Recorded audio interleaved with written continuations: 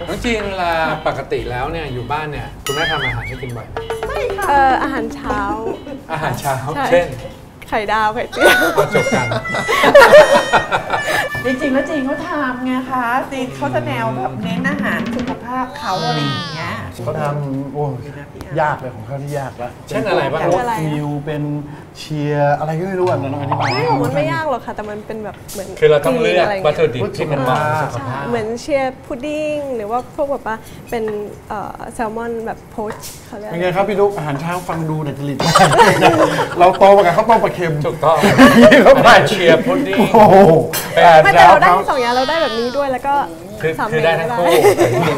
ตอนนี้น้องจีนนี่อยู่เมืองไทยร้อยเปอร์เซ็นต์แล้วนะแต่ก่อนน้องจีนนี่ใช่ไปเรียนอใช่ยู่ค่ะต่างประเทศใช่นี่ใช่ จบแล้ว ใช่ คนนี้จบอังกฤษ อีกคนหนึ่งเกาหลีเกาหลีแล้วอีกคนหนึ่งพี่เจมส์คนโตนั้นจบที่เมืองไทย